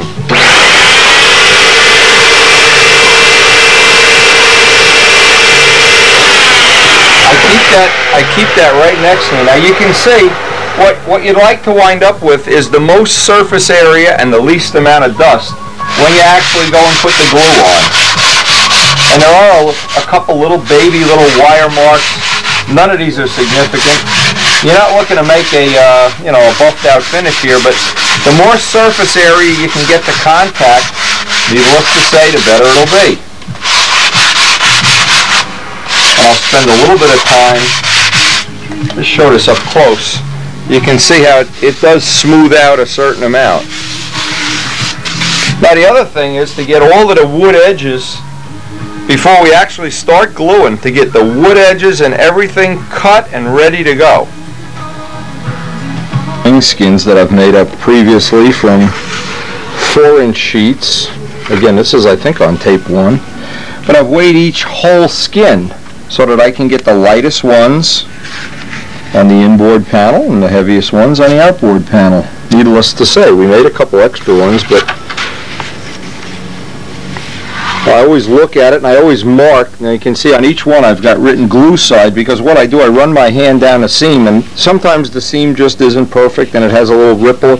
And I don't want to sand them paper thin. I mean, I want, this is, this is going to be a a pretty heavy duty piece of construction. I don't want to have the wing skins down to a 64th of an inch or whatever. So the lightest one, now what I want to do from this point on, the lightest ones are going to go on the inboard panel. I always want to make sure I'm using and I can run my hand on the whole side and figure out which is the best side. In this case, this side is much nicer, so this makes it an easy decision. On, everything has to be vacuumed because that dust from sand, and again, we can't do it outside if we could. I don't want any of that dust to wind up, it, it denigrates the glue joint. So every step of the way, even though these skins have been sanded, I know there's a chance they'll have some of that dust on them. And what I want to do is lay the cores out. I want the grain going parallel to the leading edge on these parts. No matter how many times you vacuum, you still wind up with just like balsa dust. It's just part of the problem of building in the winter. Time, if you're doing a one-piece wing, pretend this was a one-piece wing, you, it's a lot, believe me, it's a lot easier. But this is, this is going to be a little more complex, but you still get the same, the same thing is going to happen. I want to have the glue side down. Uh, in this case, I'll do the smaller of the two parts first. And I want to line this up with, I can take it out of the cores for now, line this up with the leading edge. Because what's going to happen when I lay this down, if I lay this down and it's, it's like this, and half of the sheeting's out of the front, I'm dead. So what I need to do is make a little, and this is just going to make it.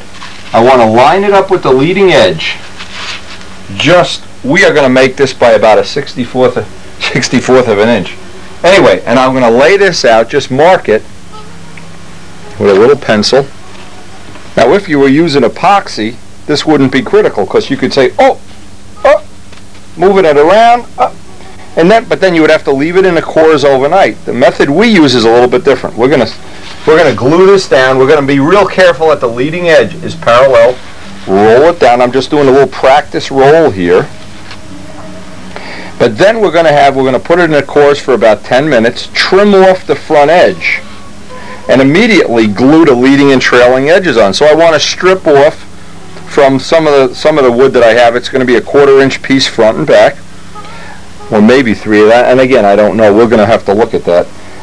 But the objective is to have everything ready. So once you start a panel, you get this side done, trim it, flip it over, do the other side, put it in a course for a few minutes, let that glue really kick off, and then glue the leading and trailing edges on to each piece. We have four pieces to do, so I'm going to allow myself a little bit extra here, but just just to give myself a little parallel line here. Guys, I'll I'll do it with uh, with one of these markers. The trailing edge will be back here, and I don't care about that right now because it's the leading edge that's real important. Now, if you were to, a couple of things you can do wrong. If you were to drop this down and it's like you're dead, throw the part away, throw the throw the core away. And by the way, that's why I had John cut a whole extra set of wings because I haven't done this in a couple of years. Maybe I'll screw one up. But that's going to be my, that'll be my, now we, the piece for this one. What I was trying to do is get both of them out of one core. And it looks like that's going to happen without a problem at all. We'll have this piece. So now I know I don't even have to put glue down at this bottom piece here. And next thing is I'll trim this off. Use this method, it's best to have everything ready to go. And you can see that's one piece. Now what I'll do is I'll also get the other skin ready and I'll strip off the balsa wood part. So everything is ready, almost like making a kit. I don't want to have any extra wood here because I'm just going to waste glue if nothing else. So I don't need that part of the wood. And just for my own reference, I always put something like this. So I know that this is the glue side. Because in essence, I'm building a kit. And I'll do the reverse thing, make the other set of skins, mark them, and I'll lay them all out to make sure I have every, because a lot of times you get doing this, and what will happen is by, by not laying it out ahead of time, you'll lay the wing down, and and this won't be the leading edge. You'll have the grain going with the trailing edge, and then it twists over the front. So actually, for my own reference,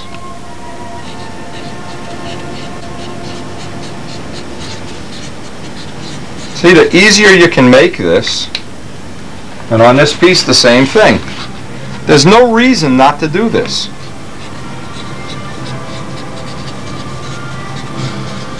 No matter how you do it, you can be fancy or cute or whatever. But now we have what we hope is going to work out to be from one set of skins. Once I get the rest of the parts all cut out and checked, we'll be ready to glue skins. The part that gets a little tricky is I don't want to make two that don't match. So what I want to do, by laying it out this way, this again I'm using the glue side,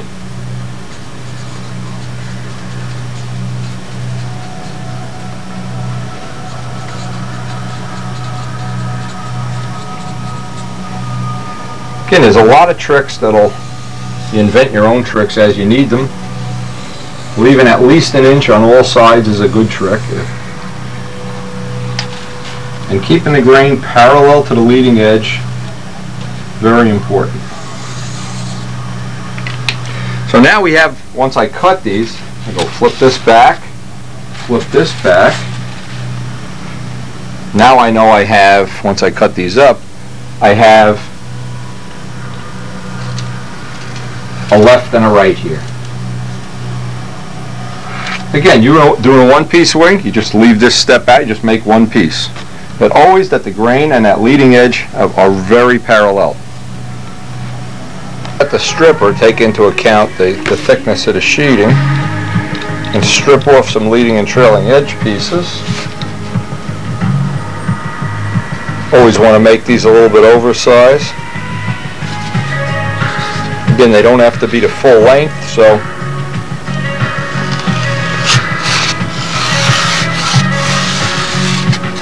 when Elliot Scott was here last week, he brought us what amounted to be some unbelievably nice balsa, especially the blocks, and some of them are big enough to, I won't have to make the joints like I thought I would. A lot of them are four inch blocks. You know, we want to make sure, and we'll do the leading edge, of course, the same way. We have a, all the edges, everything stripped, ready to go before we apply glue. I like to lay it out on the floor, make sure I have everything, that I have a top and a bottom. The edges are long enough, I leave about an inch laying off. For each panel, I'll do the other panel off camera and we will be ready. Once the parts are all ready to go, we're ready to start gluing skins on.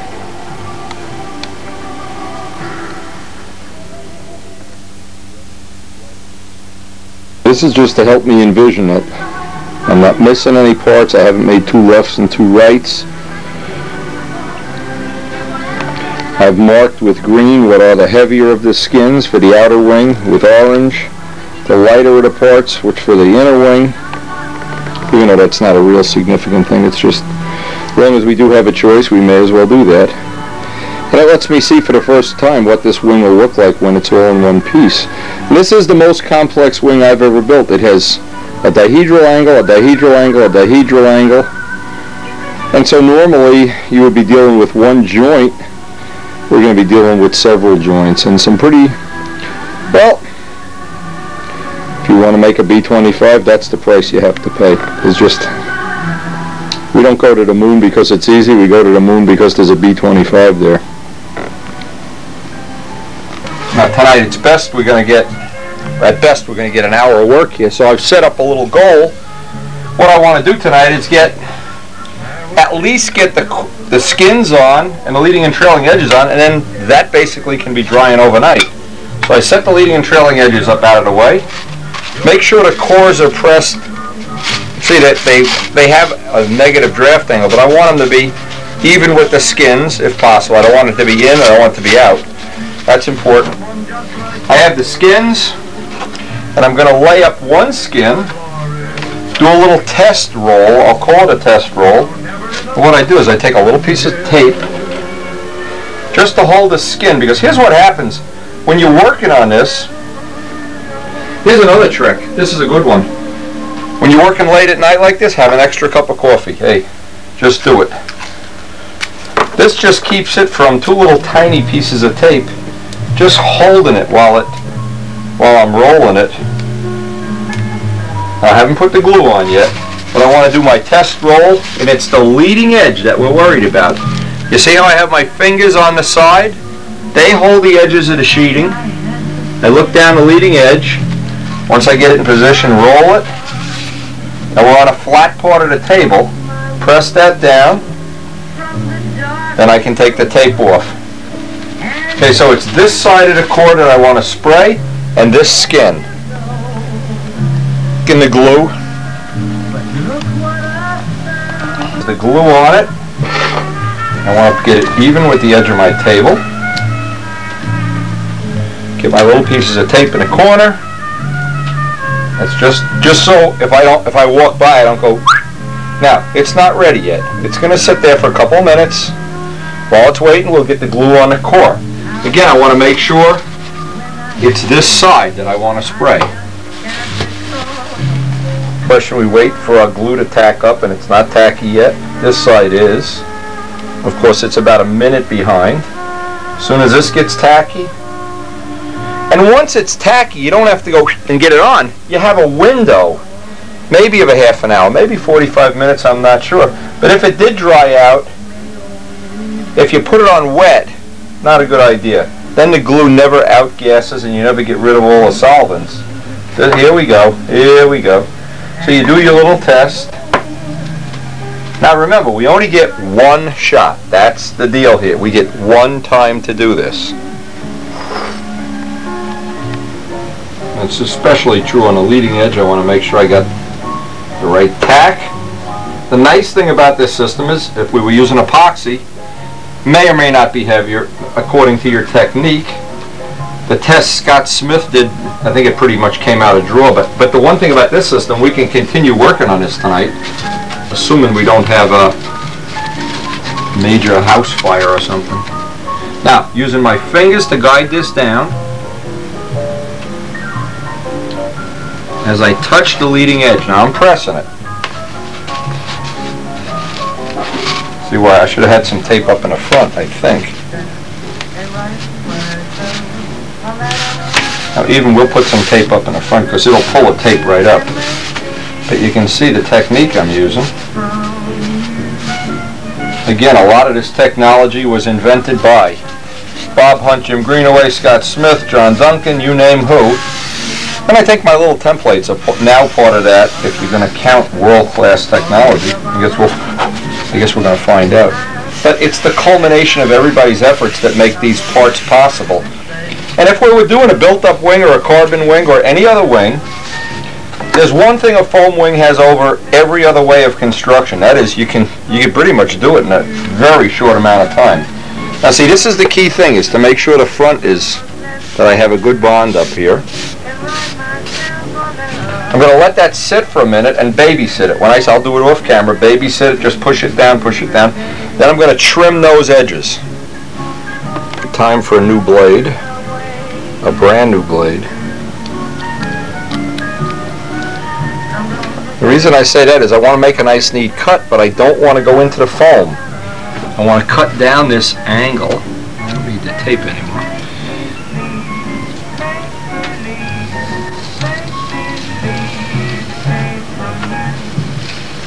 Like to get right up to the foam, but not beyond it.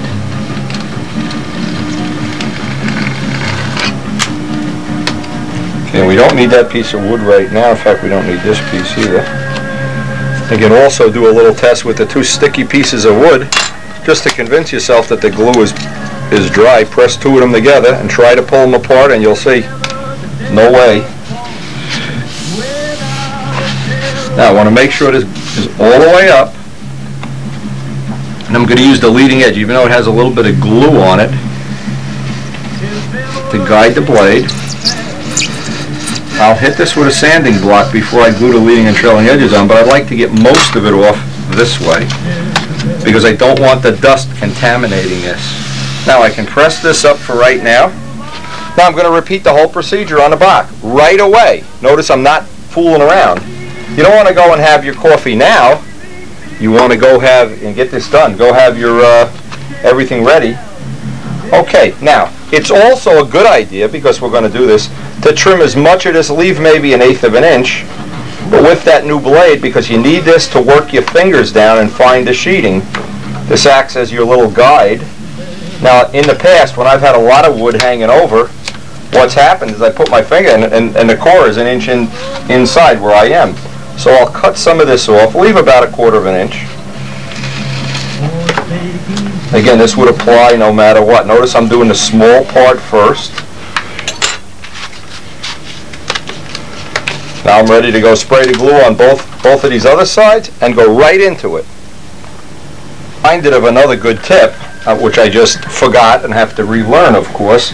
I had the newspaper that I was spraying on. Of course, there's overspray, and I laid the part down, and it sticks to it. Well, every time you spray a new part, lay another layer of newspaper on it. That makes it a little bit easier. Now, if I remember right, let's see if I can remember this. And this is only just to hold it there for that split second that you're trying to lay it down. Because along comes the bird, or along comes a gust of air, or who knows what. This is the one minute of your life you need to have this, lay it right down. Now, just need to wait for the glue. Oops. It's warming up. It's warmer now than it was this morning. Warmer, it's probably 62 degrees in here. Okay. This is where I wanted the edges trimmed. If I don't have the edges trimmed, and believe me, right now, if you drop it, it's back to John Duncan's. And one of the nice things about this is, with a foam wing, you can usually get, and I know John does, I'm not sure if Bob Hunt still does, foam wings that are sheeted, that are ready to put in the plane. And that's really a nice asset. See what's happened, we can pull the tape up, we don't need the tape. We have our first panel done in a matter of minutes. Most important thing again, because when you're laying it down, is keeping these edges. Now, one of the things you could do if you wanted to, I don't do it, is leave this in a core overnight. Instead of doing that, I like to get the leading and trailing edges on right away and let the leading and trailing edge glue hold this and act as a clamp. Okay, see, I still have a little bit of that contact cement on here from lay, from laying it on the newspaper. Okay, now you can see, and I'll do it off camera, I need to trim this, trim that trim, just as I did the other parts, and we're ready to put the leading and trailing edges on before we go do the next piece. I just want just enough of a sanding block on here that I get a, a good fit when I glue the leading and trailing edges on. Again, I'll vacuum all the dust up. I made both of these edges oversized. Have plenty of material to work that leading edge in to the specification that Dave has given us on the plans. Do the same thing on the trailing edge.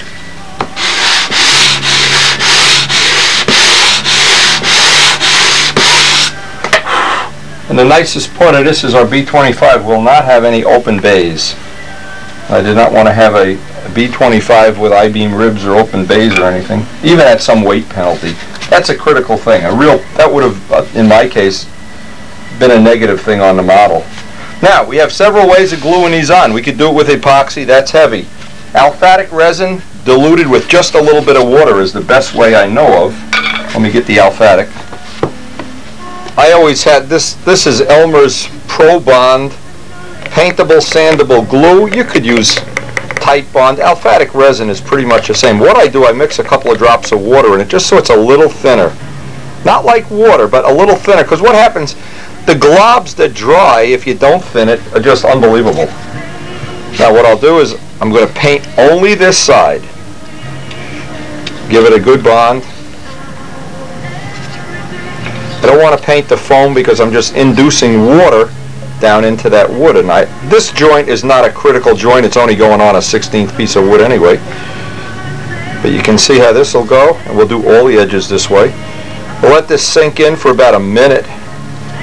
Just let it sit for a minute. It usually soaks right into the wood. Sometimes it puts a warp in the wood if it's not a real good straight grain piece of wood. But the idea is that it's thin. Now, once I'll let this sit for a few minutes, I'm just going to lay it up here. Let it sit for a few minutes right now. Otherwise, if it sinks in and there's a dry spot, you don't get it. Other thing you could do here, just to save a little time, because time is always of the essence in my shop, is let both pieces sit for five minutes. You have about a 20 minute window, 15 minute, 20 minute window before this this glue starts to set up. Mike Speedalier was the one that showed everybody at one of our club demos this little trick of thinning out the aliphatic, and he is he has probably got the best glue joints of anybody I've ever seen. Certainly better than mine. Okay, we're gonna let this sit, and then we're not gonna paint this side, and just as soon as that's dry, tape it right on. Okay. Now with some masking tape, I'll start in the middle and might work my way to the edges. At the same time, this one is dry. See, I have no glue on this side now. This side is dry, the other side has the glue. I'll just lay that right in there. Make sure it's good and straight. Flip it this way. Put a piece of tape right in the middle.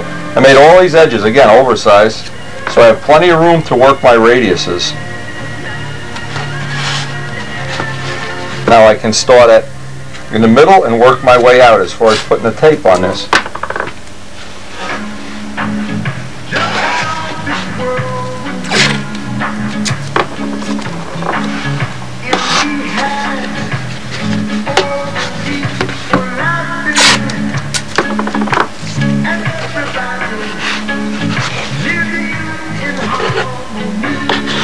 Uh, the, the trick is, you see, there's still a little gap there. The reason is because you wet the wood and it formed the bow. That's why you start in the middle. And what we're looking for is a real nice tight joint if possible. What we're looking for here is a really tight, tight fit. And a little bit of glue that oozes out if you wanted to. You could reach in there with a Q-tip but when we're done. This, the Pro Bond is supposed to be sandable aliphatic. To some degree it is, but it's certainly not like, uh, well, like any glue. It's harder than the wood around it. Now, we got that done in a relatively short time. We'll do the other ones off camera, but they're all exactly the same. And then that's pretty much going to sit overnight and dry. Even though you could work on it 45 minutes, an hour later, what happens, you don't want to take a chance that the leading edge is going to come off halfway sanding it. So I find it's better to just let it sit overnight. And tomorrow when we come back to work on it, it'll be no chance it's going to come off whatsoever. And this part, you can see on the tape, goes. if you only had two panels to do, we'd already be half done. Goes relatively quickly. You can do it in an evening session, a morning session, or or you can just pay Johnny Duncan to do it, or Bobby Hunt, or one of the people that do it professionally.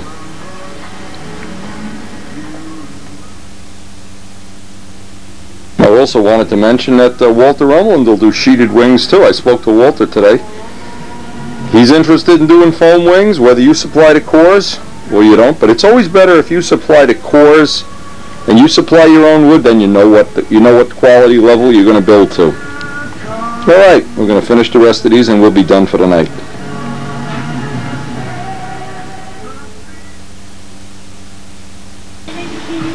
Now this is one part of foam wings that everybody likes. This part of it goes very quickly. And again, you could you could knock this whole thing out in one night. Three down, one to go. When you get in, involved at this at this point in time, each one goes a little faster, and th this is the part of foam wings that really goes quickly. This part right here.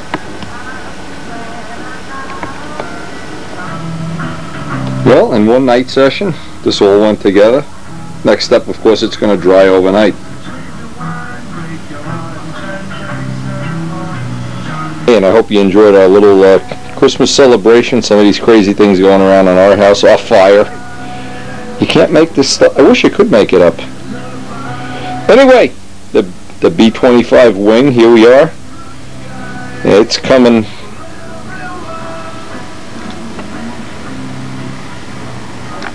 these great blocks, these four inch blocks. I don't know how we're going to use them. We got Walter Umland's hats here. We got the fuselage to carve blocks on. We got Miss Ashley to buff out. Well, we just got more things to work on here. I've never never had a year, the year of being busy, but it, it really is a lot of fun. And every time I look at this, I just dream about the day we're going to be able to get this thing out at the field and throttle the engines back, do some taxiing, do some touch and goes. I don't know what else. It's going to be fun. Please share the tapes, and we'll see you on the next tape.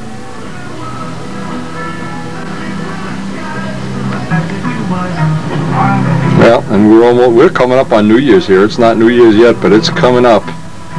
We're waiting. Actually, uh, 2001 was a crazy year for us. Had a lot of things happen, but it's always nice looking forward to a new year.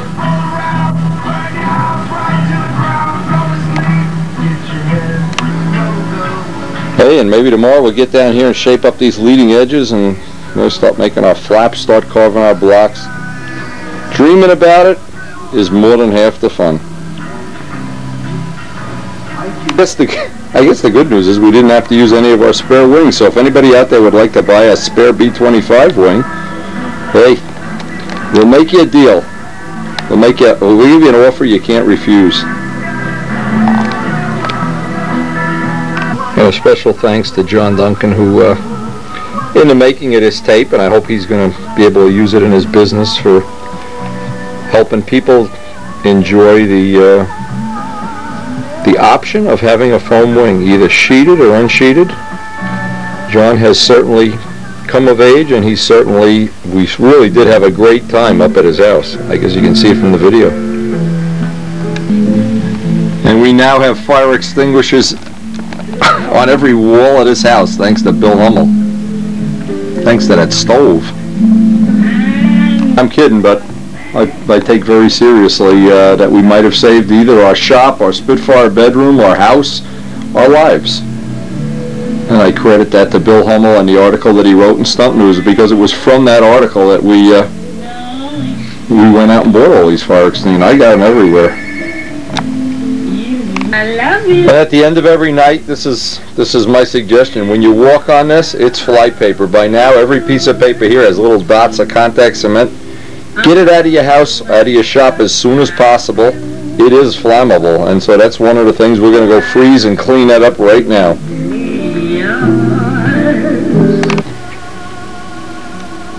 Really, I'm really not kidding about laying around a bunch of newspaper with spray glue on it. Not a great idea. Anyway, Tricky agrees. Don't burn the house down, Windy. Don't burn the house down, Urtnowski. Saved all the cores with all their code numbers because this plane is going to have dihedral breaks. So we're not going to be able to do this in the traditional way, and I'm not sure how we're going to do it, but that'll give me something to think about tonight. And very special thanks to our friend Elliot Scott, our good friend, who uh, not only has made and maintained my website over the years, but certainly this is something I'll treasure forever. This is a handmade picture, and boy, if that doesn't bring you back to the 50s and the 60s when they used to have these take-apart things, I don't know. Anyway, New Year's Day is coming up. Karen has a couple days off work. I have no idea what she has planned, but if I can break away down here, I'll get some modeling, and if not, enjoy 2002. Just basically going through some old pictures here and trying to figure out how many foam wing planes in my lifetime have been really excellent flying models and or won major championships. And they've certainly had, we've certainly had our share. I also want to pay, uh, Lou Dudka has been at it, uh, the hobby for quite a few years now, but in the years that he cut foam wings and developed things, and he was very helpful, and we all benefited from his technology and his craftsmanship over the years. Over the years, we really have built so many foam planes, and I hope this video is going to go a long way to keeping that technology alive and well, even though there are many other ways. Keep in mind, having all these choices is always better than having no choices. And it's the choices we have. When you decide to make a model, the choices you have in motors, fuel tanks, hardware, wing construction, it just makes the hobby so much better when you have choices. So again, we will see you on the next tape, I hope, and I hope you're enjoying the tapes and enjoying sharing our life. There's, there's just something about the medium of video that it allows us to become a closer knit group than any other group of people on the face of the earth. Before us, the times before us, maybe not the times after us, but having this medium of video to share things with. And if you're working on a new project, send me some pictures.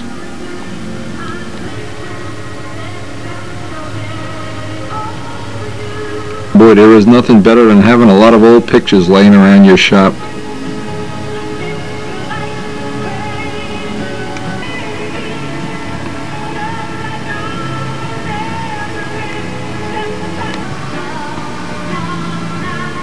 At one time this was our foam Air Force, all foam wing planes.